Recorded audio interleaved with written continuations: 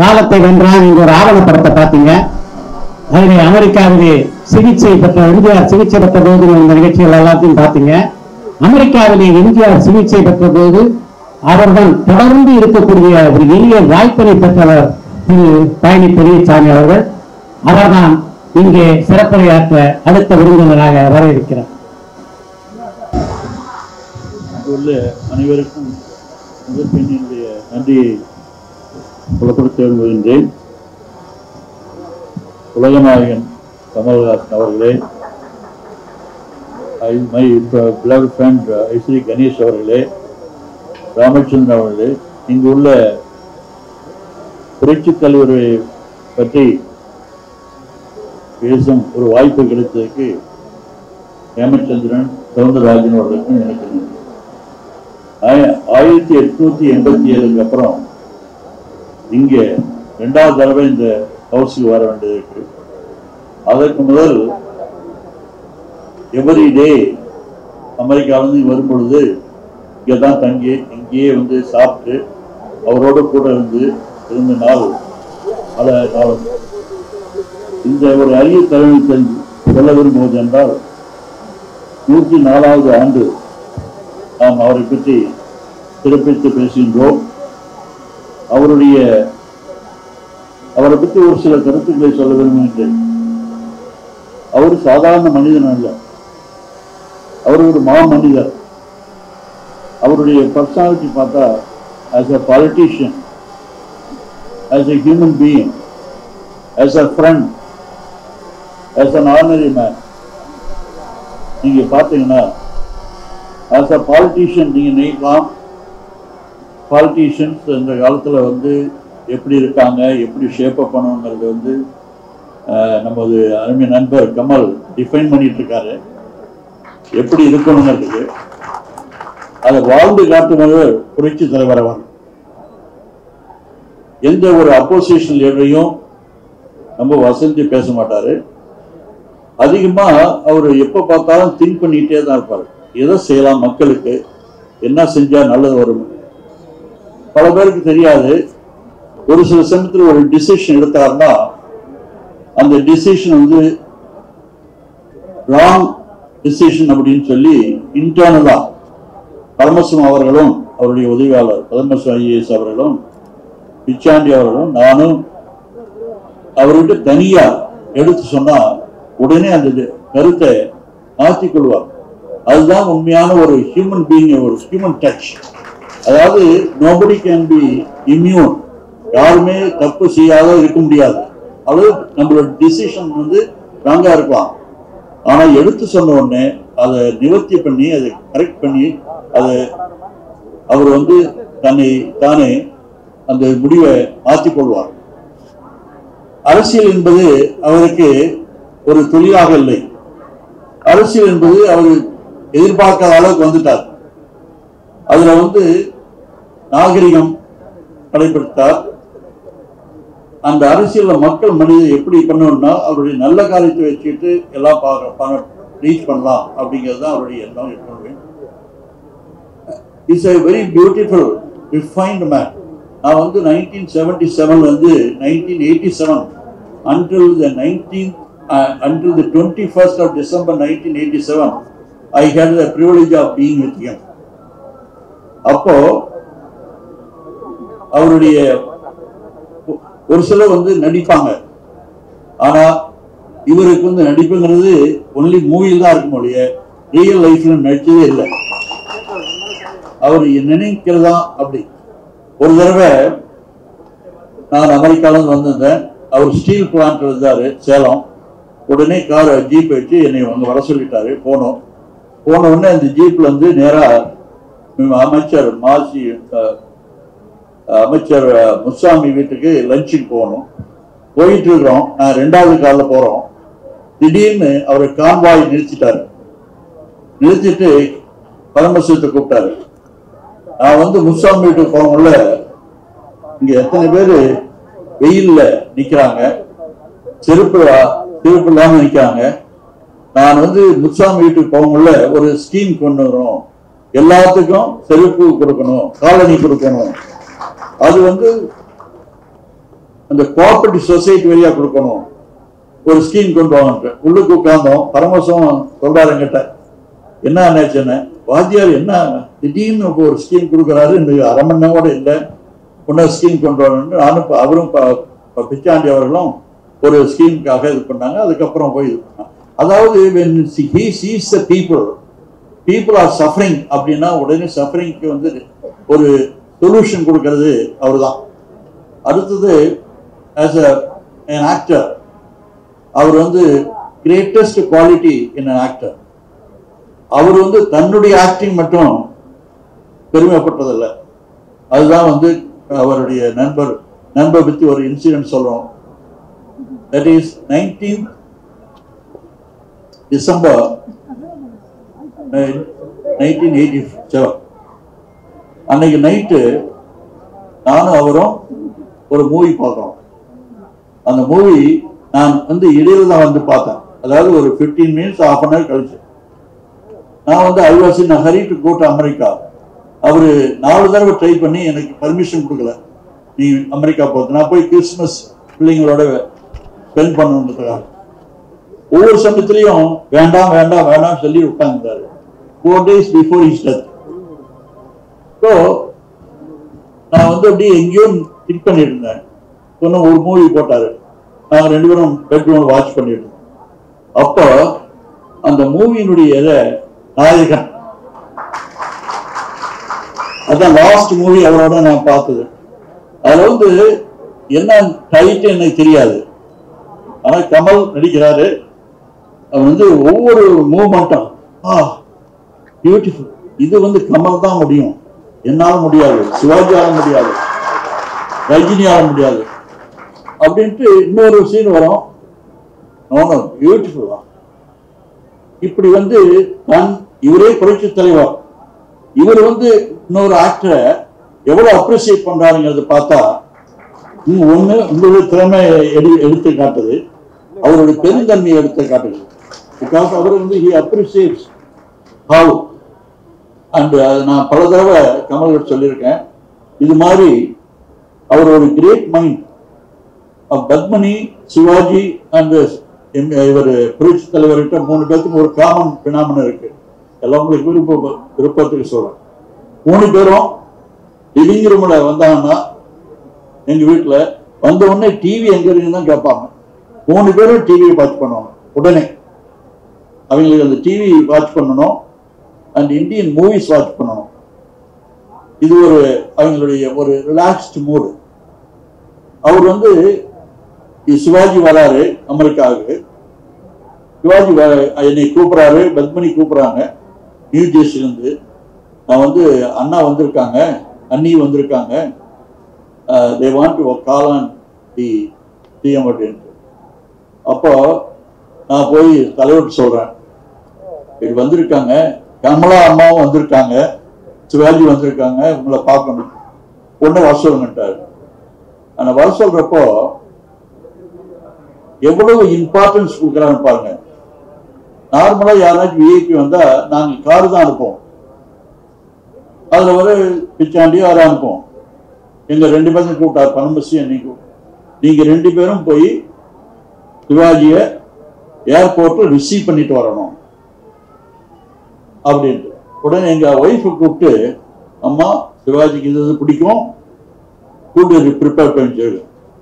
எவ்வளவு தூரம் பிளானிங் அதாவது சிவாஜி வரான்னு சொன்ன உடனே இவருக்கு ரொம்ப எக்ஸைட் ஆயிட்டாரு. அப்புறம் உள்ளுக்கு போனாங்க பேசிட்டு இருந்தாங்க. இது ரொம்ப தட் கைண்ட் ஆஃப் ஹாஸ்பிட்டாலிட்டி மட்டும் இல்லை.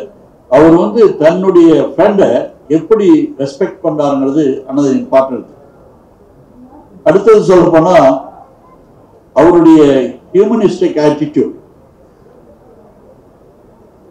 இது நைன்டீன் எயிட்டி ஃபோரில் அவர் வந்து கோமா ஸ்டேஜில் நான் அமெரிக்கா டாக்டர் நாலு பேர்த்துக்கு அனுப்பி அவங்கள அவங்க ரெக்கமெண்டேஷன் சொன்னாங்க. நான் சொன்னேன் நீங்கள் அமெரிக்காவுக்கு இப்போ இந்தியாவுக்கு போகிறீங்க போகும் பொழுது you are going to see not an individual not a leader as Chennai card மாதிரி இருக்காரு அவரை போய் பார்க்க போகிறீங்கண்ணே இந்த நாலு டாக்டர் வந்த உடனே சோலா ஹோட்டல் அந்த காலத்துல இந்த ராதாகிருஷ்ணன் சாலை கூப்பிட்டாங்க. Doctor Periyasamy everything is fine but what you said is wrong ஒரு இதில் என்னன்னு? You said is is a என்ன? வாட் இஸ் அவன் சொல்கிறான் Freeman is not a god is not is god is a god இந்த மக்களுக்கு அவர்தான் காட் மாதிரி இருக்காரு. அந்த கூட்டத்தெல்லாம் பார்த்தா யூனிவர்சிட்டி இவ்வளவு கூட்டம் பார்த்தது இல்லை. கல்யாணம் பண்ணா கூட நூத்தி இருபது பேர் தான் இருப்பாங்க. கொரோனா டைப் மாதிரி. ஆனால் பார்த்த உடனே அவ்வளவு இம்ப்ரெஸ் ஆயிட்டாங்க. அப்ப சொன்னாங்க இதுதான் இம்பார்ட்டன்ட் அவருடைய தலைவருடைய வாழ்க்கையில ஏன் வந்து மூணு வருஷம் இருந்தாங்கிறதுக்கு இது ஒரு பெரிய முக்கிய கட்டம். அப்ப என்ன செஞ்சாருன்னா அவங்க சொன்னாங்க Friedman and Carl Meyers and others நாலு பேர். நாலு டாக்டர்ஸ் கூப்பிட்டு என்ன சொன்னாங்க நீ வந்து இஃப் யூ வாண்ட் யுவர் தலைவர் டு பி சேவ் இந்த அட்மாஸ்பியர்ல உங்களால் முடியாது. இந்தியாவுக்கு டேலண்ட் இல்லாமல் ஆனால் ஆனாக்க அவரை வந்து ட்ரீட் பண்றதுல பிஐபியா தான் ட்ரீட் பண்றாங்களுடைய they are not treating him like a it's very important அவரை வந்து இங்க இந்த அட்மாஸ்பியர்ல நீங்க வச்சிருந்தீங்கன்னா அவரை ரிவைவ் பண்றது கஷ்டம். So what is your suggestion கேட்டேன். அதுக்கு சொன்னாங்க you arrange to bring him to America that is how சொன்னது அங்க வந்து யூ was treated patient and patient and a great a uh, அவருடைய will power is so important நாங்க வந்து இதுக்கு ஆபரேஷன் போறாரு. நானும் பரமசும் எல்லாமே வந்து அவரை கும்பிட்டோம். நாங்களாம் அழுக ஆரம்பிச்சிட்டோம் அவரு எங்களை கூப்பிட்டு நான் எவ்வளோ கிரைசிஸ் பார்த்துருக்கேன். நான் திடீர்னு வந்துடுவேன் don't worry I will alright அப்படின்னு கிட்னிக்கு டிரான்ஸ்பிளான்ட் போக கூட எங்களை சேர்த்துற ஒழிய நாங்கள் அவரை பார்த்து அழுகுறோம். அவர் எங்களை வந்து சமாதானப்படுத்துறாரு. அவ்வளவு will power and determination and courage அவருக்கு. அனதர் திங் நீங்கள் படிச்சிருப்பீங்க ஒரு தடவை மணியன் உதயமூர்த்தி சித்ரா கிருஷ்ணமூர்த்தி கிருஷ்ணசாமி இவரு நானு எல்லாம் இருக்கோம் வாஷிங்டன்ல பால்டிமோர் ஹில்டன் ஹோட்டல்ல. என்னை உடனே கூப்பிடாரு எனக்கு அமெரிக்கால இருந்து ட்ரெயின் ட்ரெயின்ல போகணும்னு ஆசை. அதனால பால்டிமோர்லேருந்து நியூயார்க்கு ட்ரெயின்ல போகலாமா அப்படின்னாரு. ஓகே அரேஞ்ச் பண்ணலாம் அரேஞ்ச் பண்ணோம். டிக்கெட்லாம் வாங்கியாச்சு. இல்லாம பார்க்கிங் லாட்ல இருந்து வாக் பண்ணிட்டு இருக்கோம் அப்போ ஒரு அம்மா ஒரு இந்தியன் லேடி ஓடி வராங்க வித் பேபி இவர் திரும்பி பார்த்தாரு. பார்த்த உடனே என்னன்னு கேளுங்கனாரு அப்படியே நின்ட்டாரு அந்த லேடி வராங்க. வந்த உடனே அவங்க சொல்றாங்க நான் ரிச்மண்ட் வெர்ஜீனியாவது வரேன். மூணு மணி நேரம் நானே டிரைவ் பண்ணிட்டு வரேன்.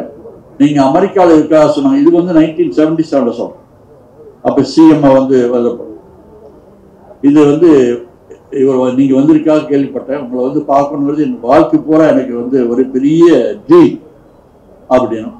உட்கார்ந்தாரு நின்றுட்டு நல்லா இது பண்ணிட்டு ஒரு பொண்ணுக்கு ப ஒரு கிஃப்ட் கொடுத்துட்டு பணம் கிஃப்ட்னா பணம் தான் அப்படின்னாரு கொடுத்து ராஜன் அப்படின்னு ஒரு போட்டோகிராஃபர் இருந்தாரு. அவர் கூப்பிட்டு இந்த போட்டோ எடு போட்டோ எடுத்து ஒரு காப்பிலாம் அனுப்பிடணும். Make sure you do that அப்படின்னு சொல்லிட்டு வந்தார். வரும்பொழுது நான் சொன்னேன் டைம் ஆகுது டைம் ஆகுது. அப்போ கொஞ்சம் நான் ரிஃபைன்ட் இல்லை Indian சிஸ்டத்துக்கு I was more orient to American system என்ன டைம் ஆச்சுன்னு. கொஞ்சம் மை டோன் வாஸ் பேட்னு நினைக்கிறேன். அவர் கை பிடிச்சிட்டு எதுக்கு டைம் ஆச்சுன்னாரு? ட்ரெயின் போயிடுங்களேன் அப்படின்னா? இது ஒரு ட்ரெயின் தான் இருக்கான்னாரு. ஏன் நிறைய ட்ரெயின் இருக்கிறேன் ட்ரெயின் வரட்டும் போட்டோம். இந்த வாய்ப்பு எனக்கு கிடைக்குமா? அதாவது இந்த பொண்ணு என்னை பத்தியே டீல் பண்ணிட்டு இருக்கு நான் அந்த பொண்ணை பார்க்காம போயிருந்தா அந்த அம்மனையை பார்க்காம போயிருந்தா வாழ்க்கை பூரா அந்த அம்மா. ஐயையோ பார்க்க முடியலையே பார்க்க முடியலையே இருப்பாங்க. இப்ப பார்த்ததுனால வாழ்க்கை பூரா அந்த அம்மா ஹாப்பியா இருப்பாங்க. என்னை பத்தி நினைச்சிருப்பாங்க ட்ரெயின் இல்லைன்னா என்ன? அப்படி அங்கே போன மாதிரி ட்ரெயின் இல்லை. ட்ரெயின் நெக்ஸ்ட் ட்ரெயின் போனோம். நெக்ஸ்ட் ட்ரெயின் போகிறப்போ இவர் எப்பவுமே காஃபி எதுவுமே சாப்பிட மாட்டார். ஆனாக்க Maniyan and others are coffee இது ஆர்டர் காஃபி அழகான ஒரு சூட்டு குரூப் பிரதர்ஸ் சூட் வாங்கி கொடுத்துருங்க அழகா. வெரி ஒயிட் அதாவது பேஜ் கலரில் போட்டு அழகாக நாங்கள் சொன்னோம் அழகாக இருக்கீங்க நம்ம மூவிலேயே ஆக்ட் பண்ணலாம்னு சொல்லிட்டு எல்லாம் இது joke our he was very happy so ட்ரெயினில் உடனே நியூயார்க் போய் சேர்றாரு. என்னை கூப்பிட்றாரு. நீங்கள் வந்து வாங்கி சூட்டு நம்ம அணியனும் சித்ரா கிருஷ்ணாமியும் உதயமத்தையும் சதி பண்ணி காஃபியை மேலே ஓத்திட்டாங்க அதாவது ட்ரெயின் ஆடுறதுல காஃபி இது பண்ணுறப்போ விட்டேன் இவங்க மூணு பேரும் சரி பண்ணி எனக்கு நல்ல சூட்டாக இருந்தது நல்லா அழகாக இருக்குன்னு நினச்சிட்டு என்னை இது பண்ணுறதுக்காக காஃபி ஊற்றிட்டாங்க அப்படி டோன்ட் வரி நான் கேவிட் ட்ரை கிளீனிங்னு சொன்னேன் இது மாதிரி அவர் ஒரு இதை கூட ஒரு கன்வெர்ட் பண்ணி ஒரு ஹியூமன் டச் கொடுப்பாரு. அந்த தலைவர் வந்து ஒரு தாவரத்துக்கு முதல்ல அவருக்கே உதிச்சிருக்கு.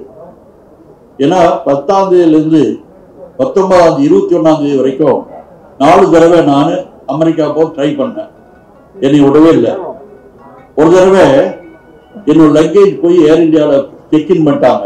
நான் இவ்வளவு சொல்றேன் நான் செக்இன் பண்ணிட்டாங்க நான் போறேன். செக்இன் பண்ணிட்டாங்க லக்கேஜ் எங்க இருக்குன்னு பாருங்க நான் கீழே வர லக்கேஜ் கொண்டு வந்துட்டாங்க. அவருக்கு வந்து அந்த இன்ட்யூஷன் தெரிஞ்சிருக்க மாட்டேங்குது. The 21st I left and 23rd night he passed away. I mean, uh, 23rd night தானே 23rd night he passed away and another thing என்னன்னா அவருடைய ஹாபி ஹாபி மட்டும் இல்லை நாங்கள் என்ன சாப்பிட்றோமோ மேலே ஒரு தடவை வந்து we had a very good time அப்போது ஒரு இது மீட் கொடுத்தாரு. அதை நாங்கள் சாப்பிட்டோம். சாப்பிட்டோன்னே எப்படி இருக்குனாரு? சிக்கன் நல்லா இருக்குண்ணே அவர் சொன்னார் இது சிக்கன் இல்லை காடை எப்படின்னாரு எனக்கு காடைங்கிறது அப்போ எனக்கு தெரியாது என்னன்னு. ஓ காடைனா அது கோயில் சம்திங் ஓ நல்லா இருக்குன்னு உடனே நெக்ஸ்ட் டே கீழே வரேன். அவர் கேட்குறாங்க செக்ரட்டரி என்ன பண்ணீங்க மேலே? அப்படின்னாரு. என்ன பண்ணேன்? நைட் என்ன பண்ணீங்க? என்ன சாப்பிட்டீங்கன்னாரு? நான் வந்து காலை சாப்பிட்டேன் இன்னைக்கு காலையை நிறைய பிடிச்சிட்டு வர சொல்லிட்டாரு. ஏன் இவ்வளவு காடை வச்சிருக்காருன்னா நீங்க சாப்பிட்டா நாங்களாம் சாப்பிடணும். அதாவது whatever we eat you must be knowing also whatever we eat அவரு சாப்பிட்ற பாட்டை எல்லாத்தையும் சாப்பிட்டாங்க அந்த இது ஒரு நல்ல குவாலிட்டி இது மாதிரி பெரிய ஒரு பெரிய மாமனிதர் நம்ம ம- நம்ம இதுக்கு நம்ம மதியில் இல்லைங்கிறத பற்றி ரொம்ப கஷ்டப்படுறோம். அவர் ஒரு இது சொன்னாங்க. ஒரு தடவை ராஜா வந்து காட்டுக்கு போனாராம். கோர்ட்டுக்கு போகிறப்போ அந்த போயிட்டு வந்த உடனே ஒய்ஃபு சொன்னா நீ என்ன- மொபைல் ஃபோன்லாம் இல்லை அந்த காலத்தில். நீ வந்து போன உடனே என்னை மறந்துட்டியே அப்படின்னு சொன்னாங்களாம். அதுக்கு ராஜா சொன்னாராம். உன்னை சாரி என்னை பத்தி நினைச்சானா மறந்துட்டியான்னு சார்? நான் அவர் சொன்னாராம் நான் வந்து உன்னை மறந்தா தானே மறுபடியும் ஞாபகப்படுத்து என்னை ஞாபகம் இருக்கான்னு கேட்டிருக்கா. அதுக்கு வந்து சொன்னார் உன்னை மறந்தா தானே ஞாபகப்படுத்துறதுக்கு எப்பயுமே you are in my heart அப்படின்னு ராஜா சொன்னாராம். அது மாதிரி எம்ஜிஆர் அவர்களை நாம் எப்பயும் மறக்க முடியாது. மறக்கவும் முடியாது. மறக்கவும் கூடாது. அந்த பாவ மாமனிதர் அந்த பரம்பரையில ஒரு leader like Kamal I wish him well in his uh, quest for purity in public life. You are such a great personality. Hope you are very successful. All the best. And uh, I hope MGR's blessings are with you. And uh, life is uh, very, our life is ordinary, but அவர் வந்து he lived எக்ஸ்டாரிங் extraordinary இது சொல்லிகிட்டே போகலாம் ஏற்ற- எனக்கு பத்து வருஷ history இருக்கு. அவருடைய எவரு ஒரு சின்ன சின்ன மூவ் பார்த்தா நீங்க நினைப்பீங்க அவர் என்ன ஆக்டர் அது பண்ணிட்டார் இது லீடர்ன்ட்டு அவருக்கு வந்து ரெண்டு தடவை இது ஒன்று ரிவீல் பண்ணேன். ரெண்டு தடவை he wanted quit as a CM தலைவர் அவர்கள் இரண்டு முறை இந்த எனக்கு இந்த பாலிட்டிக்ஸை வேண்டாம். நான் இதெல்லாம் முடிச்சிட்டு you take me to America அப்படின்னு ஒரு தடவை நம்ம அதில் வந்து விட்னஸ் வந்து சுலோச்சனா சம்பத் முத்துசாமி அமைச்சர் மைசர் மூணு பேரும். டூ ஹவர்ஸ் நாங்கள் அழுது எழுது அவரை கன்வின்ஸ் பண்ணோம். He எதுக்கு இனிமேல் எனக்கு பப்ளிக் லைஃப் எதுக்கு இந்த ட்ரபிள்ஸ் என்னால் வந்து ஒரு சிலதை மெயின்டைன் பண்ண முடியல. Why should I be a chief minister take me to America I want to have peace அப்படின்னாரு so politics is of course rough I don't need to tell you but you have to sustain நாங்கள் சொன்னோம் அவர்கிட்ட நீங்க இவ்வளவு பெரிய ஆளு. ஆனா நீங்க இல்லைன்னா யாருமே இல்லை. நாங்க யாருமே இல்லை. Whole millions of people Tamil Nadu people நாலு கோடி மக்கள் உங்களை இழந்து இருக்க முடியாது. நீங்க தான் லீடர் நீங்க you must continue lastly I want to tell you he always Kalaignar அவர்களும் எம்ஜிஆர் அவர்களும் all பொலிட்டிக்கலா they may be different. But never அவர் தலைவர் அவர்கள் never mention the name. கருணாநிதியை சொன்னதே இல்லை. கலைஞர் அப்படிதான் சொல்வார் அவ்வளவு ரெஸ்பெக்ட் அண்ட் கலைஞர் அவர்களும் நான் ஒரு இன்சிடென்ட் ஆச்சு அப்பொழுது நான் சொன்னேன் பரவாயில்லைங்க பட் நீங்க ரெக்கனைஸ் பண்ணணும். இன்னும் நான் எம்ஜிஆர் ஃப்ரெண்டு தான் ரெக்கனைஸ் பண்ணணும் என்ன you know only ten years I have known you for forty years நாங்கள் ஒரே பிளேட்ல நாங்கள் சாப்பிட்டோம். எங்களுடைய நட்பு இஸ் மோர் டீப்பர் அண்ட் ஆழமானது. Politically we may be different I respect you and he respect me அப்படின்னு கலைஞர் என்கிட்ட சொல்கிறார் இது மாதிரி பார்த்தா இந்த மாதிரி ஒரு decent life they have live and they may be lesson to us பெரியவர்களே நான் வந்து அதிகமாக பேச விரும்பல. என்ன ஆர்டிஎம்